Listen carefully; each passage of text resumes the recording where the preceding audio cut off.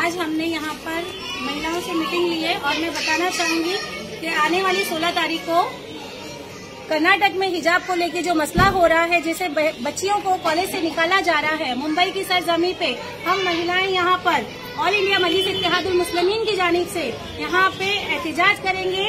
MHADA ground में, आठ number MHADA ground में तीन बजे का टाइम है। सीनियर पीआई को हमने ये लेटर दिया है और इसमें मेन लीड करेंगे हमारे राष्ट्रीय प्रवक्ता वारिस पठान साहब। हम बहनों को साथ देंगे, क्योंकि मुंबई की सरजमी से आवाज़ उठेगी तो इंशाल्लाह कहीं न कहीं सरकार की आँखें खुलेगी, उनके कान खुलेंगे, क्योंकि जो हादसे हमारे पे बीते चले जा रहे हैं, अब हिजाब को लेकर रोका जा रहा है तो मेरी बहनें चुप नहीं रहेंगी, घर घर से उठेंगी और हम सब इसका एहतजाज करेंगे, क्योंकि ये हमारा हक है, संविधान ने हमें हक दिया है तो हम इसका हक का सही तरीके